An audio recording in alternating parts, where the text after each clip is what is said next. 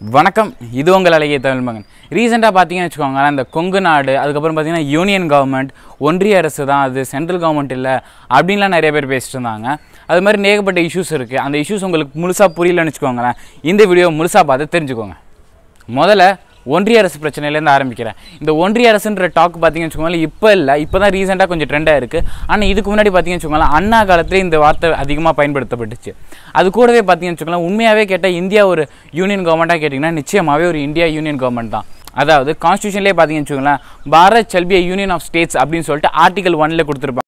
British விடுதலை கொடுக்கும்போது பார்த்தீங்கன்னு வச்சுக்கோங்களேன் மொத்தம் ரெண்டு அலையன்ஸ் இருந்துச்சு. ஒன்று வந்து பாகிஸ்தான் இன்னொன்று இந்தியா. இந்த ரெண்டு அலையன்ஸுக்கு இருந்துச்சு. அப்போ பார்த்தீங்கன்னா இந்தியாவில் பார்த்தீங்கன்னா ஐநூற்றி இருபத்தி ஆறு ஸ்டேட் இருந்துச்சு. அதாவது ஐநூற்றி இருபத்தி ஆறு நாடுகள் இருந்துச்சு. அந்த ஐநூற்றி இருபத்தி ஆறு நாடுகளும் ஒன்று பாகிஸ்தான் கூட சேரணும்.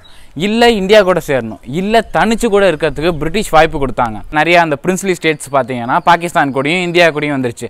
ஆனால் ஒரு சில பேர் இந்த நிறைய மக்கர் பண்ணாங்க. அப்போ கொஞ்சம் Sardar Vallabhbhai Patel the iron man of India மூவாயிரம் கோடிக்கு செலவு வச்சு உட்கார வச்சுருக்காங்களே சாரி நிற்க வச்சுருக்காங்க. அவர் பார்த்தீங்கன்னு வச்சுக்கோங்களேன் இந்தியா பூரா பறந்து ஓடி ஓடி பார்த்தீங்கன்னு வச்சுக்கோங்களேன் எல்லா பிரின்ஸ்லி ஸ்டேட்லையும் இந்தியா கூட வாங்க இந்தியா கூட வாங்கன்னு சொல்லிட்டு நிறைய இடத்துல கன்வின்ஸ் பண்ணி இந்தியா கூட சேர்த்தாரு.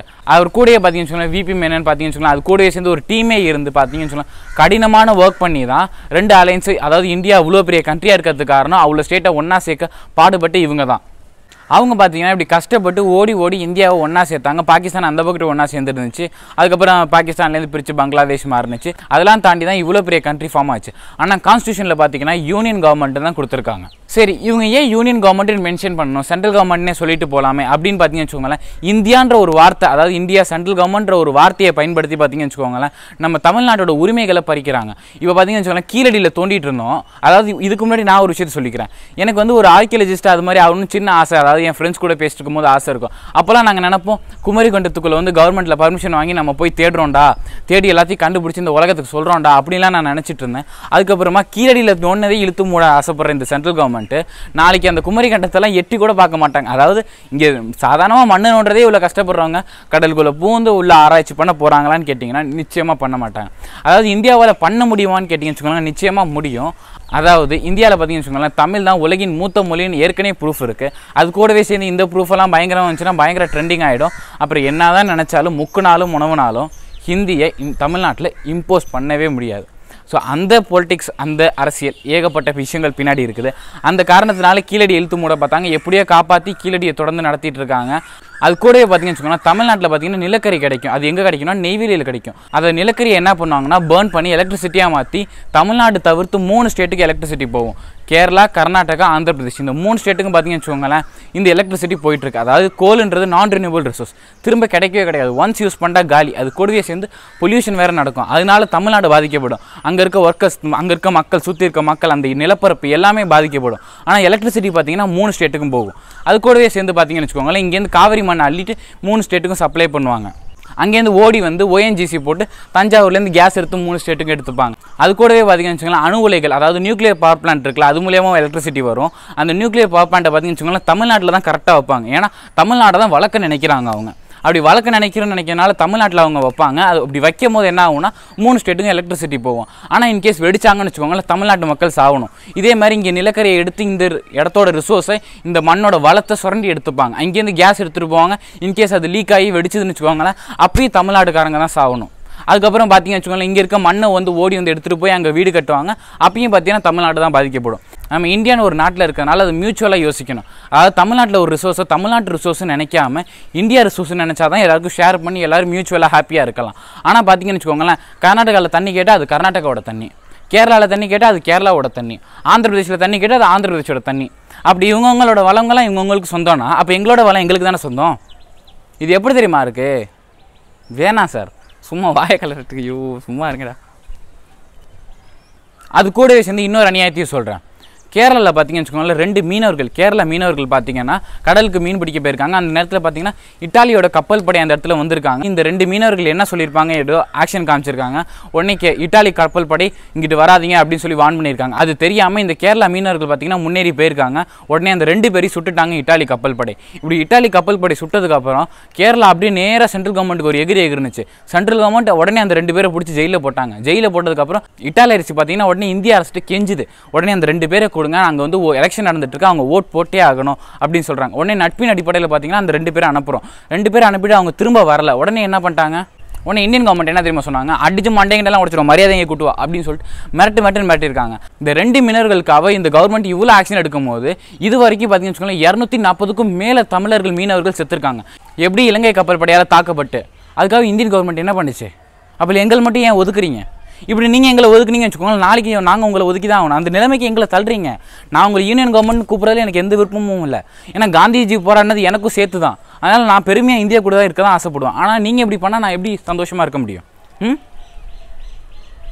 இத்தனைக்கு பார்த்தீங்கன்னு வச்சுக்கோங்களேன் பியர் பாட்டில் இருக்குல்ல பியர் பாட்டில் அதை தூக்கி இலங்கை ராணுவம் பார்த்தீங்கன்னு வச்சுக்கோங்களேன் தமிழர்கள் மீனவர்கள் மேலே வீசினாங்க. அந்த வீடியோ காட்சிகள்லாம் வெளியானுச்சு அப்போ பார்த்தீங்கன்னா இலங்கையில் பார்த்தீங்கன்னா ஒரு மினிஸ்டர் என்ன தெரியுமா சொல்லியிருக்காரு? அவங்க பீர் பாட்டில் வீசினதுல எனக்கு ரொம்ப பெருமையாக இருக்குது இப்படி தான் அடித்து விரட்டணும் தமிழர்களை அப்படின்னு அவர் அவ்வளோ பெருமையாக ஓப்பனாக சொல்கிறார் அப்போ இந்தியன் கவர்மெண்ட் என்ன ஆக்ஷன் எடுத்துச்சு? அப்போ நீங்கள் எங்களை ஒதுக்கும் போது நாங்கள் உங்களை ஒதுக்குனா மட்டும் உடனே ஆன்டி இண்டியன் டெரரிஸ்ட் ஹே செப்பரேட்டிஸ்ட் ஹே அப்படின்றீங்க. ஆ? செப்பரேட்டிஸ்ட் ஹேன்றீங்க. சரி நான் உங்கள்கிட்ட ஒரு கேள்வி கேட்குறேன். நானும் உங்க கூட சேர்ந்து இந்தியா இந்தியா நிற்கிறேன் தமிழ்நாடோட ஒரு பகுதி. அதாவது இல்லை இல்லை இல்லை. இந்தியாவோட ஒரு பகுதி கச்சத்தீவு. அதாவது அத்திப்பட்டி மாதிரி கச்சத்தீவுன்னு ஒரு தீவு இருந்துச்சு. அது இந்தியாவுக்கு சொந்தமான தீவு.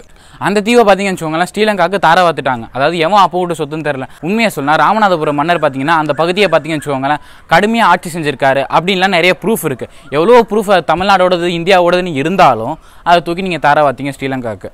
அதை மட்டும் நீங்கள் என்ன பண்ணுங்கள் தயவுசெய்து அந்த கச்சத்தீவை மட்டும் மீட்டு தாங்க அப்படின்னு நான் கேட்குறேன் உடனே என்ன சொல்லுவீங்க? அதெல்லாம் முடியாது. கொடுத்தது கொடுத்தது தான் அப்படின்வீங்க அப்போ கொடுத்தது கொடுத்ததான்னு சொல்கிற நீ தேசியவாதி என் நிலப்பதியை ஒரு வஞ்சகமாக ஏமாற்றி ஆட்டையை போட்டு போயிட்டான். அதை மீட்டு தான் கேட்குறேன்னா பிரிவினைவாதியா? ஆ? இப்போல்லாம் நீங்கள் பண்ணீங்கன்னா யூனியன் கவர்மெண்ட் இல்லை. வேணாம். ஆனால் நீங்கள் இப்படி பண்ணிங்கன்னா எப்படி நாங்கள் உங்களை ஏற்றுக்க முடியும்? அதாவது என்ன சொல்ல வரீங்கன்னு வச்சுக்கோங்களேன் இங்கேருந்து எல்லா வளத்தையும் பிடுங்கிட்டு போயிட்டு என்ன தேவையில்ல அப்படின்னு ஒதுக்கிடுவீங்க. இன்கேஸ் எங்களுக்கு நாளைக்கு ஏதாவது ஒரு பெருமை வந்தால் இல்லை இல்லை அது எங்களோட ஸ்டேட்டு அப்படின்னு கொஞ்சிப்பீங்க. அதாவது இங்கேருந்து பணத்தை எடுத்துப்பீங்க எல்லா ஜிடிபி எடுத்துப்பீங்க இங்கேருந்து நிலக்கரி போகும் இங்கேருந்து எலக்ட்ரிசிட்டி போகும் இங்கேருந்து ஓஎன்ஜிசி போகும் ஆனால் இங்கே தண்ணி மட்டும் வராது. ம்? எல்லாத்தையும் எடுத்துகிட்டு போகணும். ஆனால் நீங்கள் எங்களுக்கு எதுவும் கொடுக்க மாட்டீங்க. சரி இப்போ நம்ம கொங்கு நாடை பற்றி பேசலாமா? தமிழ்நாட்டை ரெண்டாக பிரிக்கிறதுக்கான பிளான் போட்டிருந்தாங்க இப்போ ரீசெண்டாக அதாவது கொங்கு நாடுன்றது வந்து பார்த்தீங்கன்னு சொல்லலாம் திருப்பூர் கோயம்புத்தூர் அந்த ஏரியாலாம் பார்த்தீங்கன்னா கொங்கு நாடுன்னு சொல்லுவாங்க. மொத்தமாக எத்தனை வச்சுக்கோங்கன்னா தமிழ்நாட்டில் ஏற்கனவே பல வருஷங்களுக்கு முன்னாடி ஐந்து மண்டலங்கள் இருந்துச்சு. சேர சோழ பாண்டிய மண்டலம் அப்புறம் கொங்கு மண்டலம் அதுக்கப்புறம் பார்த்தீங்கன்னு வச்சுக்கோங்களேன் நார்த் சைடில் ஒரு மண்டலங்கள் தமிழ்நாட்டோட நார்த் சைடில் இருந்துச்சு. இப்படி அஞ்சு மண்டலங்கள் இருந்துச்சு. இப்போ பார்த்தீங்கன்னா எவ்வளோ விஷயம் ப்ராவின்ஸாக மெட்ராஸ் ப்ராவின்ஸாக மாறிச்சு அதுக்கப்புறம் கஷ்டப்பட்டு மொழி வாரியாக பிரித்து தமிழ்நாடுன்னு ஒரு தமிழ்நாடுன்னு தனியாக வாங்கியாச்சு. இப்போ இந்த தமிழ்நாட்டை பார்த்தீங்கன்னு வச்சுக்கோங்களேன் கொங்கு மண்டலம் தமிழ்நாடு அப்படின்னு சொல்லிட்டு கொங்கு நாடு அப்படின்னு சொல்லிட்டு தனியாக பிரிக்கணும் அது வந்து யூனியன் டெரிட்டரி அறிவிக்கணும்னு நம்ம central government sorry sorry sorry union government பார்த்தீங்கன்னா சொல்லியிருந்தாங்க. இப்படி சொல்லியிருந்த போது தமிழ்நாட்டில் பார்த்தீங்கன்னு வச்சுக்கோங்களேன் தமிழ்நாட்டை பிரிக்கிறதுக்குன்னு யாராலையும் முடியாது அப்படிலாம் நிறைய பேர் சொல்லியிருந்தாங்க. அது கூட பார்த்தீங்கன்னு வச்சுக்கோங்களேன் இதில் முக்கியமான விஷயம் கவனிக்க வேண்டிய விஷயம் என்னென்னா கொங்கு மக்கள் பார்த்தீங்கன்னா அதாவது அந்த ஏரியாவில் இருக்காங்களா கொங்கு மண்டல மக்கள் அவங்க என்ன சொல்கிறாங்கன்னா இதுக்கு ஆதரவு தெரிவிக்கிற மாதிரி சில நடவடிக்கைகள் இருக்குது அந்த நடவடிக்கைகள் ஏன் இருக்குன்னு சொல்லணும். ஏன்னா அவங்க என்ன பண்ணுறாங்கன்னு சொல்கிறத மோடு ஏன் பண்ணுறாங்கன்னு சொல்லணும். அது ரொம்ப முக்கியமான விஷயம். இந்த கொங்கு மக்கள் ஏன் இப்படி சொல்கிறாங்கன்னு பார்த்தீங்கன்னு வச்சுக்கோங்களேன் அத்திக்கடவு அவினாசி திட்டம்னு ஒரு திட்டம் இருக்குது அந்த திட்டத்தை ரெண்டு கட்சி இல்லை ஏகப்பட்ட கட்சி பார்த்தீங்கன்னு வச்சுக்கோங்களேன். நாங்கள் இதை செஞ்சு தரோம் இதை செஞ்சு தரோம் ஆசை காட்டி ஆசை காட்டி மோசம் பண்ணிட்டு இருக்காங்க ஆக வாய் வரையும் கொண்டு வருவாங்க எலெக்ஷன் டைமில் அப்புறம் எடுத்து பின்னாடி வச்சுக்கிறாங்க.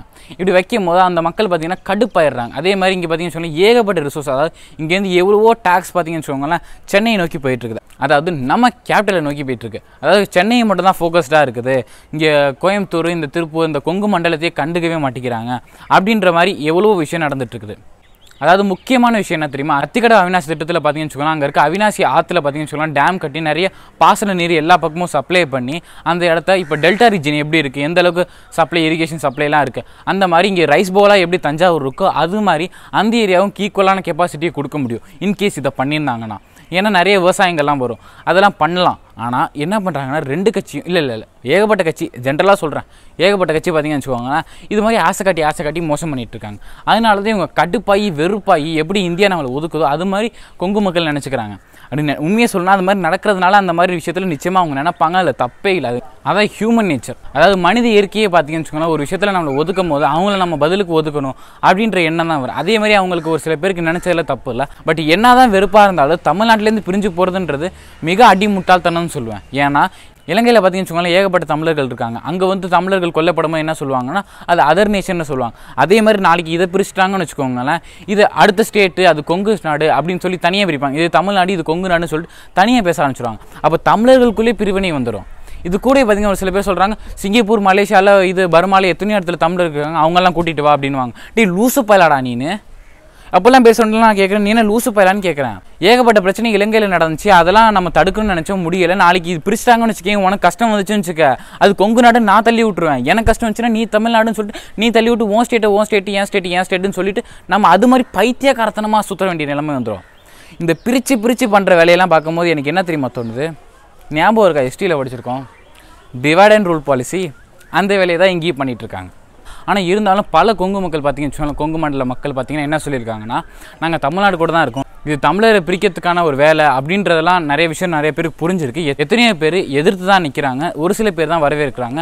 அது ஒரு சில பேராக இருந்தாலும் நான் ஏன் பேசணும்னா ஒவ்வொருத்தவங்களோட வியூஸையும் நம்ம மதிக்கணும்ல. அவங்களுக்கும் ரைட்ஸ் இருக்குல்ல.